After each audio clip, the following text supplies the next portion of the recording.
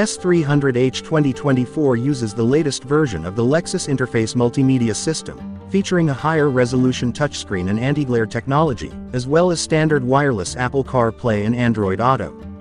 In addition to its welcome touchscreen functionality, the system is equipped with an advanced voice assistant that makes voice control more intuitive, says Lexus.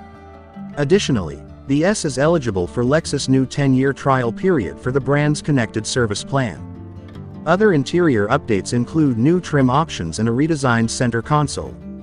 Ash bamboo trim was added to the previously available open-pore brown walnut and open-pore black options, and a new macadamia interior color replaces rich cream. The center console is also updated with new sunglass mounts and cup holders, plus wireless charging. The new multimedia system in the ES is accessed via the standard 8-inch touchscreen or the available 12.3-inch display.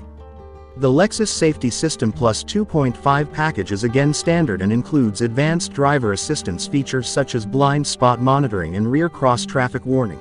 The system received camera and radar improvements, new intersection turning assist and emergency steering assist features, plus an improved adaptive cruise control feature.